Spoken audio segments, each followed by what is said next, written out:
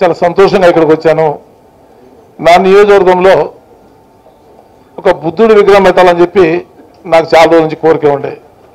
ఎందుకు బుద్ధుడి విగ్రహం అంటే బుద్ధుడి విగ్రహం చూస్తే అంత చరిత్ర తెలిసి తెలవ చిన్న చిన్న చరిత్ర చదివాం కానీ పెద్ద చరిత్ర తెలవకపోయినా అంత డీప్గా పోకపోయినా కూడా బుద్ధుడి విగ్రహం చూస్తే బుద్ధుడిని చూస్తే కొంచెం మనసు ఎందుకో సంతోషం అనిపించి కొంచెం చాలా బాగా అనిపిస్తుంది.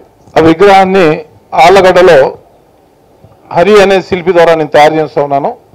ఇరవై అడుగుల ఒకటే సింగిల్ స్టోన్లో బుద్ధుడి విగ్రహం దాదాపుగా తయారైపోయింది.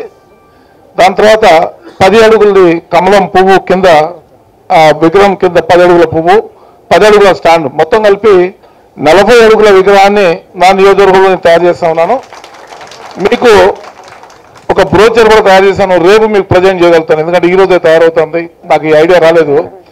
ఇక్కడికి వచ్చిన తర్వాత ఐడియా వచ్చింది. ఒక బ్రోచర్ తయారు చేస్తా ఉన్నాము. దాని కాన్సెప్ట్ కూడా నేను తయారు చేశాను. ఈ విగ్రహ ప్రతిష్టాపన చెరువు లేక్లో తయారు చేస్తున్నాం. సేమ్ ట్యాంక్ బండ్ హైదరాబాద్లో ఎట్లా ఉందో అదే పద్ధతిలో మా దగ్గర కూడా చేస్తూ ఉన్నాము. తొందరలో దీన్ని కంప్లీట్ చేసి ఇక్కడ వచ్చిన పెద్దలందరినీ కూడా ఇన్వైట్ చేయడానికి నేను ప్రయత్నం చేశాను. అది చెప్తానికి నేను మీ దగ్గరకు వచ్చాను నేను.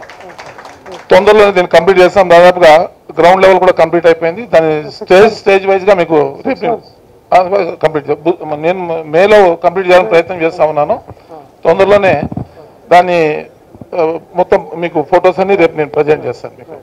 ఈ నా ఆహ్వానాన్ని మన్నించి అప్పుడు పెద్దలకైతే ఎట్లాగో మా ముఖ్యమంత్రి గారి నుంచి మా స్పీకర్ గారి దాకా మంత్రి గారి దాకా చెప్పాల్సి వస్తున్నప్పుడు అదే కాకుండా మీకు ఇక్కడ వచ్చిన ప్రజా ప్రతినిధులందరికీ నాది ఇదే ఆహ్వానంగా మన్నించి తప్పనిసరిగా అప్పటికి మీ మెయిల్ నంబర్ అన్ని తీసుకుంటాను మీ అడ్రస్ తీసుకుంటాను మీకు మెసేజ్ ఇస్తాను తప్పకుండా వచ్చి మీరు బ్లెస్సింగ్ ఇచ్చిపోవాలని చెప్పి మీ అందరినీ రిక్వెస్ట్ చేస్తాను